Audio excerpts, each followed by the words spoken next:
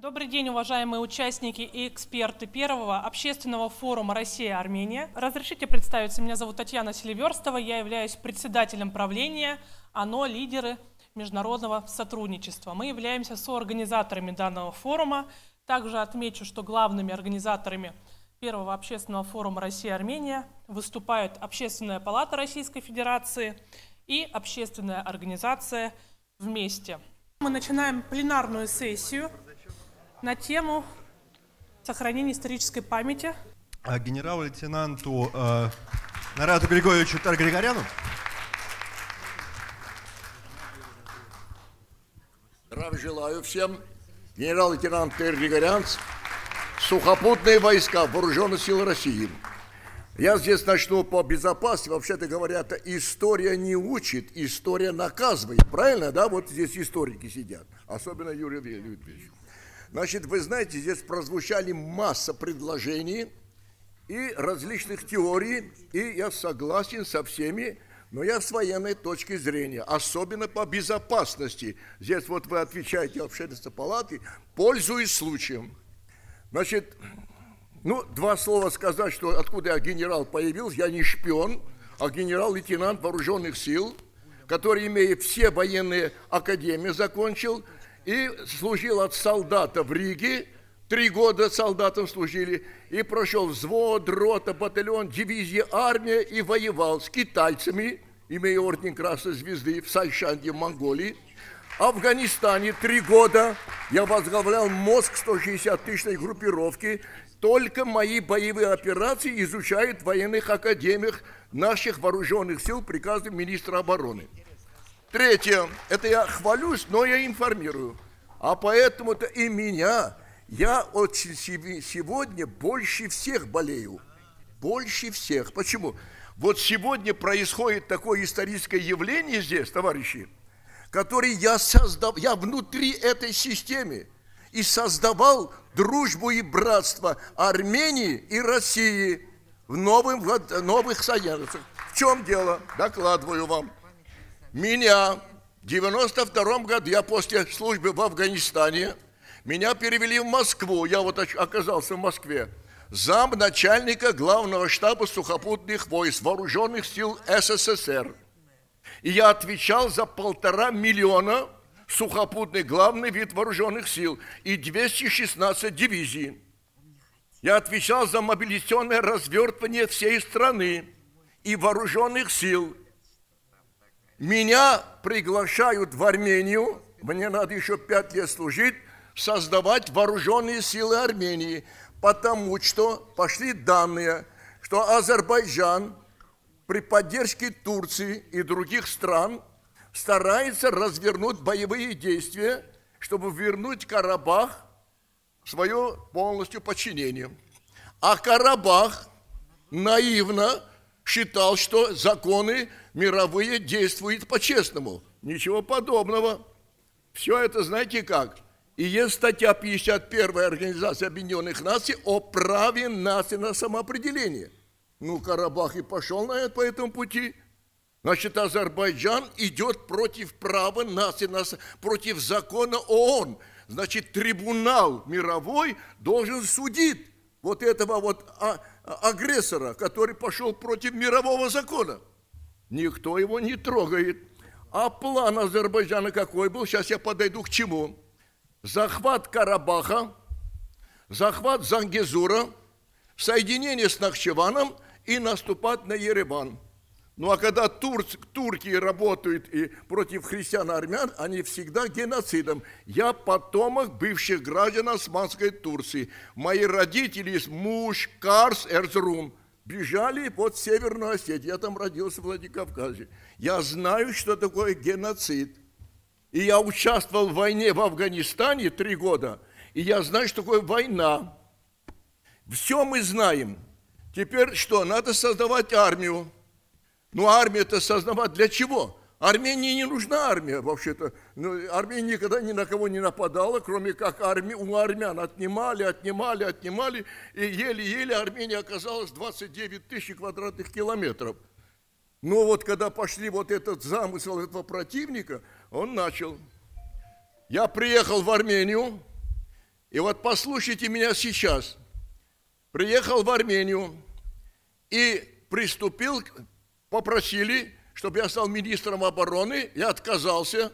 Зачем? Я же не приехал должность занимать. Я стал командующим вооруженными силами и приступил к развертыванию или созданию концепции строительства вооруженных сил. И мы через 7 месяцев создали вооруженные силы. Не секрет, 84 тысячи человек с мобилизационным развертыванием 216 тысяч. И подготовили армию, как в Афганистане, это горный театр, для войны на горном театре военных действий.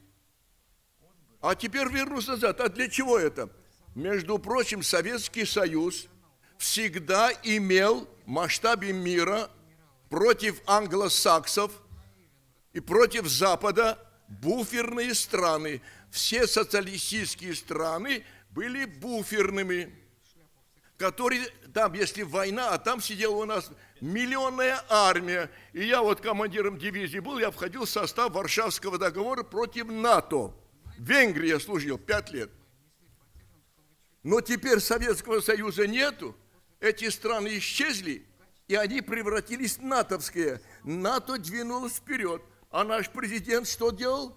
Говорит, прекратите наступать. А они начали наступать. Значит, надо России иметь буферные страны. А где от, взят, откуда? Да, очень просто. Бывшие советские республики, они являются для тебя, русского народа, России, это есть буферные страны. Но Россия не пользуется данными Советского Союза и прекращает обращать внимание и создает условия, чтобы англосаксы ставили туда руководителей. Это преступление, между прочим. И эти страны все начали возникать против России – а какое имеет право, когда мы все вместе, братья, действительно?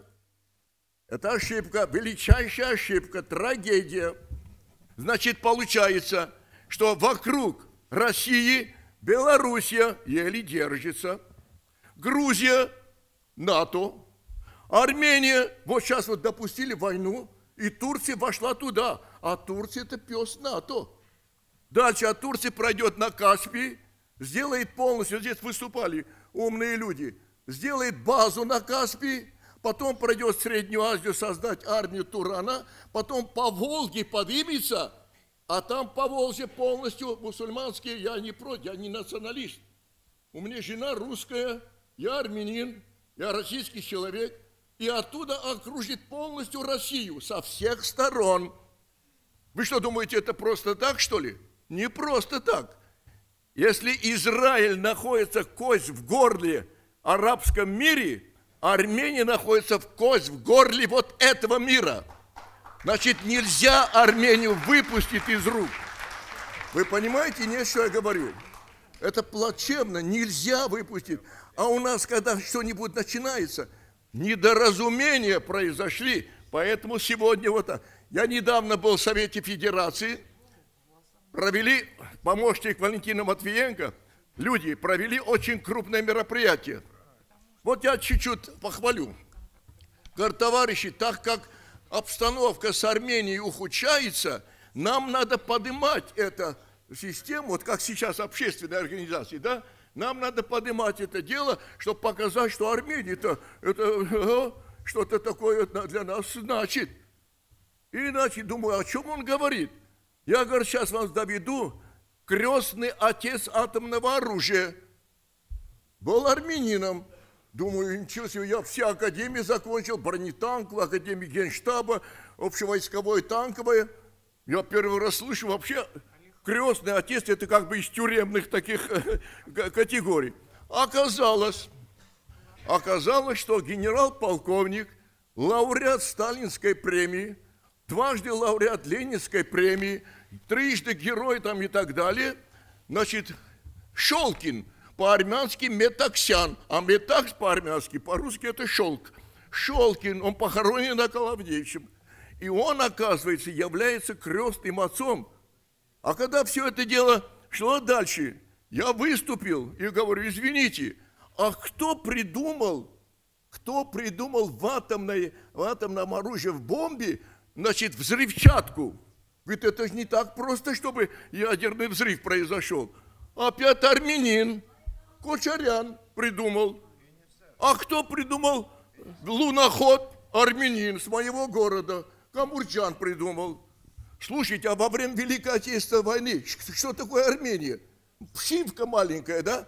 600 тысяч армян участвовало в войне, 310 тысяч погибло. Единственная республика, преклоняясь перед славянским русским народом, имеет пять маршалов Советского Союза. Маршал Советского Союза Баграмян, главный маршал бронетанковых войск Бабаджанян, маршал инженерных войск Аганов, маршал военно-воздушных сил Оганян, он же Хош, Хошверян, то есть Худяков, и двух адмиралов Советского Союза во время войны был Кузнецов и армянин Исаков. По-честному армяне служили, по-честному. А теперь вопрос стоит, армяне уходят из ОТКБ, из этого. Вы знаете что? Вот такое разбухание, недопонимание, изменение различных конструкций, когда по телевидению начинает выступать коротенько там и все, и начинают поддерживать Турцию и так далее. И Турция начал нападать. И что они сделали? Они напали на Карабах. Вооруженные силы Турции, вооруженные силы Азербайджана, вооруженные силы Израиля, Израиля – пакистанская армия и до трех тысяч исламистов, переброшенные Турции и Сирии. Слушайте, совесть надо иметь. Я давал интервью. Я говорю, разве можно совесть иметь? Я говорю, и 44 дня та структура, которую мы создали, в Карабахе было всего из всей армии всего 20 тысяч. Там оперативная емкость не позволяла иметь больше. Вот если здесь посадить сейчас, как вы, штук 10, 15, 20 таких, здесь не поместится. Там и тоже не поместится. И вот это 44 дня, вот эти 20 тысяч отражали вот этих радикальных исламистов. И я вот интервью давал однажды, я говорю, если глава Организации Объединенных Наций внимательно следил бы со своими значит, вот подчиненными, что 44 дня против радикальных исламистов воевали карабахский народ, армяне Карабаха, то надо отдать огромный мировой орден этому Карабаху.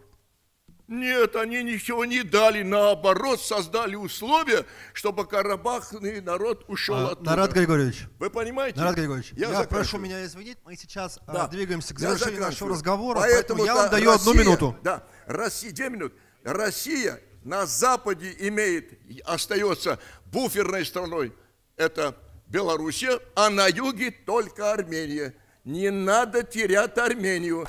Я бы, например, я бы, например, со стороны России, я российский человек, вооружил бы, оснастил бы Армению на высшем уровне, как кулак, держаться, потому что верить Турции нельзя больше всех воевала против русского народа и России, это Турция 12 раз.